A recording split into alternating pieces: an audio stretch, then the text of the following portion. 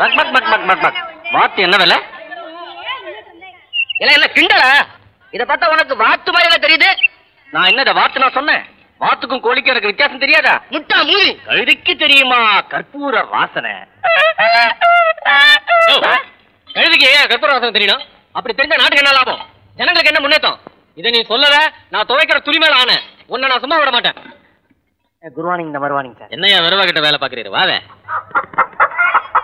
நாட்டுக்கோழி நாலு நல்லதா? தொட பருமனா பார்த்து எடுத்துக்கிறேன். பருவத்து பொட்டியல்ல வெண் புடிச்சு வச்ச மாதிரி தொட பதமா ருசியா இருக்கும். யோ! நான் கோழி சொல்லுறேன். இந்த புடி. ஆமா இவ்வளவு கோழி எதுக்கு? கடை விரிச்சு விக்க. ஆற பாரு. வில்லாதி வில்ல வீராதி வீர வீட்டுக்கு வராரு. அது ஆறு புள்ள? இந்த சில்லாவே அறிஞ்ச பேரு. ஆனா ஆரும் பார்க்காத ஆறடி ஆளாக்கும் அவரு. நான் வாசிச்சா அவருக்கு பிடிக்காத. இந்த நீ வாசி. குருமாடு ரெண்டு குடுக்கீங்களா என்ன புள்ள தாங்குலையில கீரைய வச்சுக்கிட்டு அயல் வீட்டுல கேட்ட கதையா இருக்கு. ஆமா ஆட்டுக்காரி உனக்கு எதுக்காடு ம், குழம்பு பண்ணி கும்பி நிறைய. ஒயிலாவோட ஆடுக புல்லு திங்கவும் புழுக்க போடவும் தான். பொங்கி தின்ன இல்லவே. எங்க அப்பா ரெண்டு குறும்பாடுத்துங்கிற மயிரா இது? பார்த்தா அப்படி தெரியலையே. மேல கீழே பார்க்காம வியாபாரத்தை பாரு. ஆமா விருந்துக்கு வர்றது ஆறுல? சொல்லக்கூடாதத சொல்லுத. லேடையா சிந்திச்சுக்கோ. ஆறு மூணு ஒன்பது எழுத்தா அறுவாளுக்கும் சீப்புக்கும் சொந்தமா முதல் ரெண்டு எழுத்து. ஆணுக்கு தேவையான நடுவெழுத்து புளிய மரத்து சொந்தக்கார முதல் எழுத்து. பெருமாளோட அவதாரம் கடை எழுத்து. என்ன தலை சுத்துதா? இன்னும் இருக்கு கேளும்.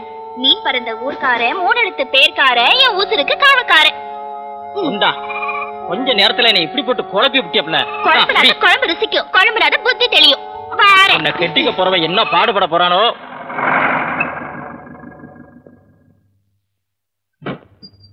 ஏடு.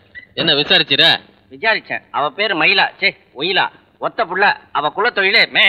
என்னவ? ஆடு மேய்க்கிறது. எங்க? வல்ல நாட்டு ஃபவுண்டன்ல. மவுண்டன் இல்லையா? மவுண்டன் ஓ இப்ப மலையை மவுண்டன் மாத்திட்டாங்களா?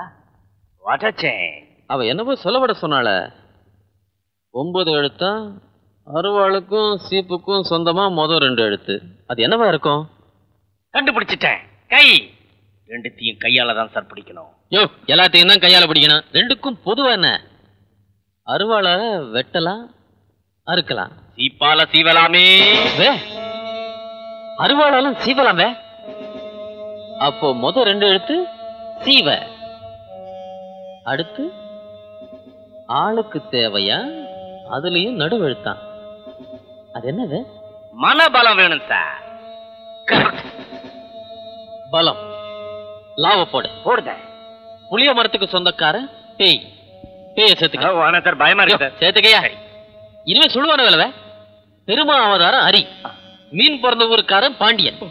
மூணு எழுத்து பேருக்காரன் பாண்டி.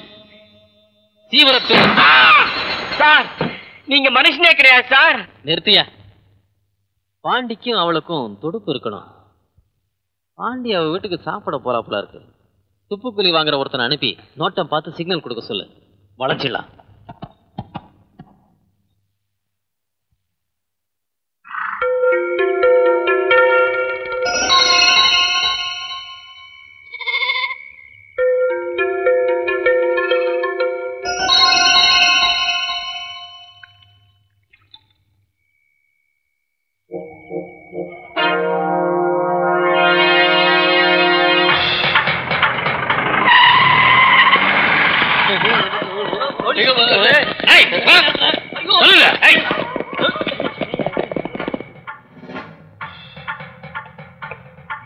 போலீஸ் வந்திருக்கு?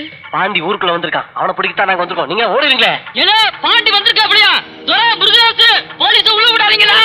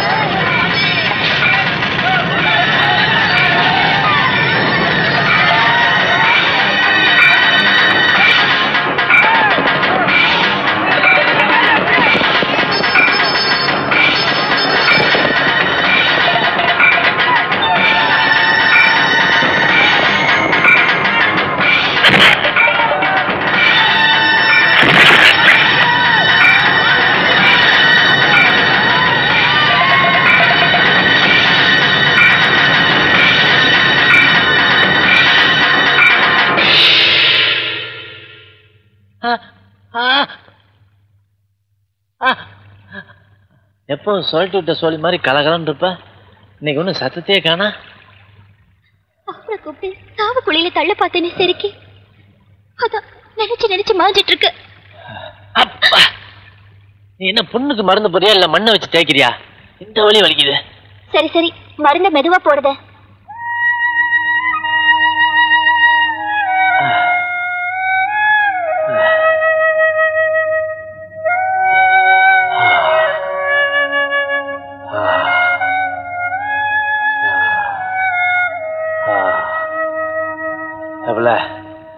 இனிமே தான் நீ ரொம்ப கவனமா இருக்கணும். ஏன்னா நான் ஆடாறு மாசம் காடாறு மாசம்னு இங்க பாதி நாள் கொடைக்கானல மீதி நாள்னு இருக்கேன். நான் போன பிறகு உன்னை பார்த்துக்க ஊர்ல என் சேக்காளி கிட்ட சொல்லி வைக்க என்ன? ஊருக்கு நான் எப்படி திரும்பி போறது? திருட்டு நாய்க்கு சலங்கு கட்ட மாதிரி நான் பழையபடி திரிஞ்சா லவக்குன்னு புடிச்சிருவானுங்க. நீ கவலைப்படாதீரும். ஒயிலா புள்ள ஒளிஞ்சு விளையாடுறத கெட்டிக்காரியாக்கும். என்ன ஆச்சு இப்படி நிலகுலந்து வந்திருக்கீங்க? என்னையா இவ்வளவு பெரிய கட்டு? சிறுவகண்ட சுப்பையோட சோளக்குள்ள தீ பிடிச்சுப்புல அணைக்கிறப்ப காயப்பட்டுருச்சு ஏனி பக்கம் தான் போறேன்னு சொன்னீங்க. இப்ப சிறுவகுண்டாங்கிறீங்க? ஏன்? சொன்னா சொன்னது தான் போகணுமா இல்ல ரெண்டு நாள்னு சொல்லி ஆறு ஏழு நாளா காங்கலேன்னு தான் கேக்குதேன் சோழி இருந்தா இன்னும் கூட தான் இருப்பேன். உனக்கேண்டி? ஏன் இப்படி விழுதீங்க கொஞ்ச நாளா நானும் பார்க்கேன் ஆயிரத்து மருந்து கூட என்கிட்ட அன்பா பேச மாட்டேங்க ஐயா இந்த பாருப்புல. வீட்டை விட்டு வெளியே போற ஆம்பளைங்களுக்கு ஆயிரம் சுணங்கள் சங்கடம் இருக்கும்.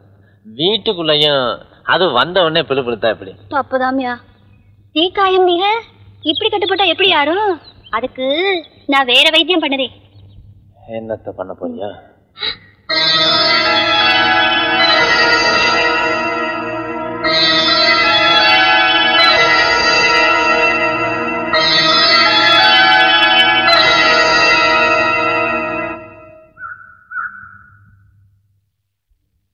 அடே அப்பா என்ன இதெல்லாம்? உங்க மனசு மாதிரி பூமியும் விளைஞ்சதையா அதான் சாமிக்கு பூ வைக்கிற மாதிரி முத விளைச்சல ஐயாவுக்கு படையல வச்சிருக்கேன். அட நீர் ஒன்று படையல் உடையல்ன்ட்டு. உழுது கிடைக்கிற விளைச்சல் உழைச்சி கிடைக்கிற வருமானம். எதுவா இருந்தாலும் முதல்ல கட்டினவ கையில கொடுத்தா தான் ஆறா பெருகும். என்ன மாக்கா மாதிரி பாக்குறீது குடு என் தங்கச்சி கிட்ட. இந்தா. கோட்டி பிடிச்சாடி உனக்கு? ஐயா கொடுக்க சொன்னது தட்டிடுற அளவுக்கு? ஐயா மன்னிச்சிருங்க ஐயா. என்ன அளவோ தெரியல கொஞ்ச நாளாவே இவ பேச்சும் சரியில்லை போக்கும் சரியில்லை. நாலு சவுத்துக்குள்ள தானே நானும் பொறுத்துக்கிட்டு இருந்தேன். நாலு பேத்துக்கு நடுவில் வந்த பிறகு வெறுப்பா இருக்கியா? என்ன? கோனார் கரக மாட்டிட்டு போறாரு? எதை சொல்ல எதை விட? மன்னிச்சிருங்கய்யா ஒட்டச்சி மனசு ஒழுங்க பிறந்தது. கட்டினவன் கை விட்டுருவானோ? கதை காதலா போயிருமோன்னு. கலங்குதேமையா அட ஏமா நீ ஒண்ணு? மண்ணுல விழுந்த வைரக்கல்ல கையில அள்ளி தேடாம கண்ணுல போட்டு தேடுற. எல்லா பொம்பளைங்க மாதிரியும். ஆண்டி முத அரசு வரைக்கும் இருக்கிறதா இந்த சந்தேகம்? ஒரு பிரச்சனையும் இல்லாத பாண்டி ராஜாவுக்கு ஒரு பொண்ணோட கூந்தலுக்கு வாசம் இயற்கையா செயற்கையான்னு பெரிய சந்தேகம். அந்த முடி பிரச்சனையை தீர்க்கிறதுக்கு கடைசியில கடவுளே வர வேண்டியதாயிடுச்சு. ம், உன் பிரச்சனை எப்படி? நான் மூடி வைக்கிறது. முடி பிரச்சனை தாங்க ஆண்டி. பாண்டியா. ஏய்யா அவன் பேரை சொன்னாலே இப்படி அலற அப்பா, ஆண்டி நம்ம கூட்டாளிங்க சொத்தெல்லாம் சு- சூறையாடிட்டான் இப்ப அவன் கணக்கில் நம்ம ரெண்டு பேர் மட்டும்தான் மீதியில. எந்நேரமும் அவனால் நம்ம சொத்துக்கு ஆபத்து வந்துரும். அத பத்திரப்படுத்தி ஆகணும். ஏதாவது யோசனை சொல்லல? ஒரு அருமையான யோசனை. ஒரு சொத்து பூராவையும் என்கிட்ட கொடுத்துரு. நான் பத்திரமா பாதுகாக்கிறேன். அதுக்கு பேசாம அம்புட்டு சொத்தையும் ஆண்டி கட்டியே கொடுத்து அவன் காலில் விழுந்துடலாம். அப்ப என்னதான்ல செய்யறது? ஆ இப்படி செய்வாள? எப்படி? இருக்கவே இருக்கு நம்ம ஆட்டு பங்களா. அங்க கொண்டு போய் நம்ம சொத்தெல்லாம் பத்திரமா ப- அதுக்கி வச்சிருவோம். நம்மளும் கொஞ்ச நாளைக்கு அங்கேயே தலைமுறை அங்கிடுவோம்.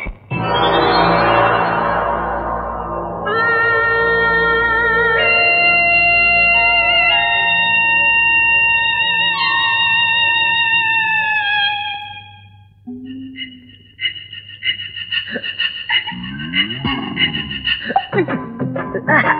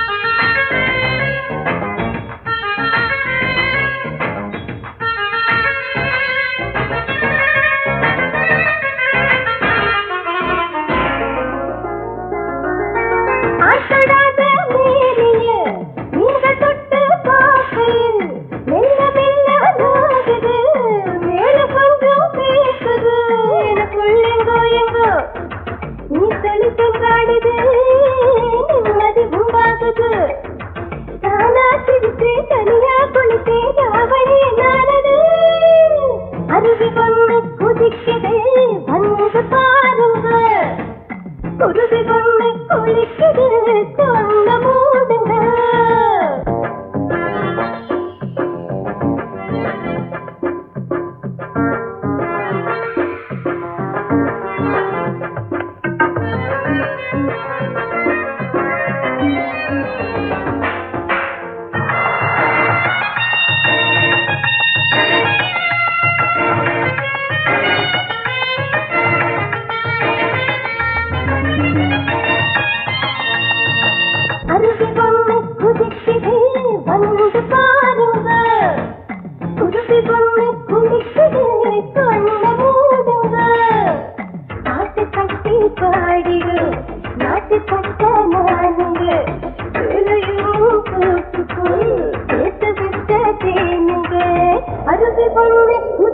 குதிக்குது வந்து பாருங்க. குருவி கொண்டு குளிக்குது கொண்ட மூடுங்க பாப்பா. ஆறு நீங்க? பொட்ட புள்ள குளிக்கிற இடத்துல கொட்டை கொட்டை பாத்துக்கிட்டு காடு மேடு பள்ளம் எல்லாம் பார்க்க வந்தோம். ஆ? மலைய சொன்னேன். அதானே? பார்த்தாச்சா? ஆ பார்த்துக்கிட்டே இருக்கோம். ஆமா உன் பேர் என்ன? காடை. காடு ஆமா உம்ம பேர் என்ன? என் பேரு மூக்கையா. மூச்சு நுழையிற ஓட்டைய பேரா வச்சிருக்கிய? ஆமா உம்ம பேரு? வச்சு வச்சுக்க. எங்க? வாயில பேர வாயில சொல்லுவாங்க. சரியா அடிச்ச காடை. இந்த காடை அடிச்சா ஆழமா தான் அடிப்பான் வார்த்தையில. காடை எங்க மனசுல ஒரு ஆசை இருக்கு. அது என்னன்னு உனக்கு தெரியுமா? என் மனசுலயும் ஒரு ஆசை. சொல்லட்டா. ஆயுசுல ஒரு தடவையாவது அங்கமெல்லாம் தங்கம் போட்டு அழகு பார்க்கணும். மெத்தையில பட்டுக்கு பதிலா கட்டு கட்டா ரூபா நோட்டை போட்டு பொருளணும் அத்தனையும் போட்டு தந்தா நீ என்ன தருவ? ஒரு பொட்டச்சியால எதை எதை தர இயலுமோ அதாவது தர்ற. காடை. உச்சி மொத்த பைசா செலவு இல்லாம சல்லாபம்ல காடையை பிடிச்சாச்சு. காட்டு பங்களாவை ரெடி பண்ண.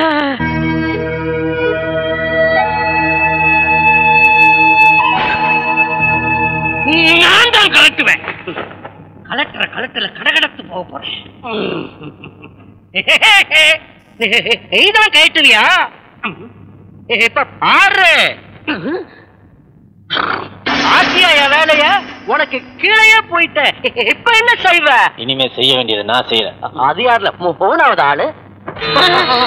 பாண்டி பாண்டி சத்தியமா நாங்க தப்பு தண்டா ஒண்ணுமே பண்ணல. காடை பாண்டி விளையாடலான்னு கூப்பிட்டு விளையாடலாமே. தாராளமா விளையாடலாமே. பாண்டியும் விளையாடலாம். பாண்டி கூடவும் விளையாடலாம். ஆட்டத்தை நீங்க ஆரம்பிக்கிறீங்களா? இல்ல நான் ஆரம்பிக்கட்டுமா? ஏன்டா பயப்படுறீங்க? இந்த பாண்டியோட தான் ஏற்கனவே நீங்க நிறைய விளையாண்டுருக்கீங்களே.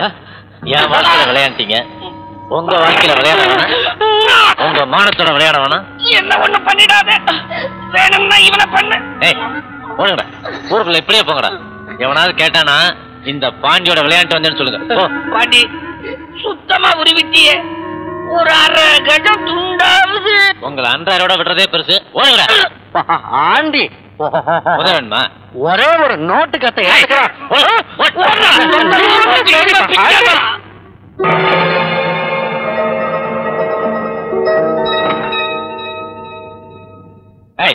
இனிமே எனக்கு உதவுறேன்னு சொல்லிட்டு இப்படி உடம்ப காட்டிட்டு திரிஞ்சேன். பொழந்துருவேன் பார்த்து. உதவாட்டியும் புலம்புறீரு. உதவுனாலும் புலம்புறீரு.